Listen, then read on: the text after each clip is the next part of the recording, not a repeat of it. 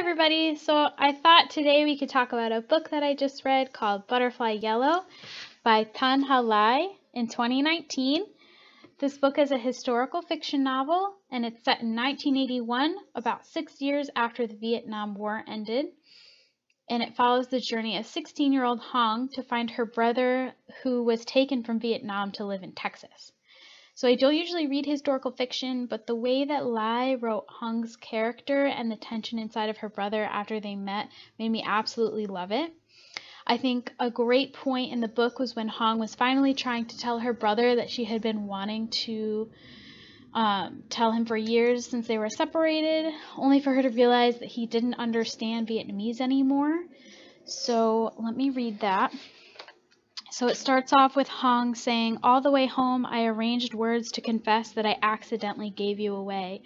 Ba met me at the door. I babbled about a man, a plane, and Ba concluded you'd been kidnapped. Each day we plotted to retrieve you. I didn't know it would take so long. I didn't calculate how you would have grown. You look glossy and meaty. You have been well watched. Do you forgive me? I am so sorry, my little one. Do you forgive me? Leroy stirs, whispers. He might not understand you. He was so little then.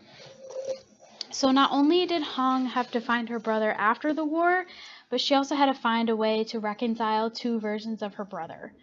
So whether or not they end up finding a way to reconnect is something that you don't find out until you read the book. So I would recommend this book to any reader who loves historical fiction, the bond between brother and sister, or ranch life in Texas. Thanks for watching!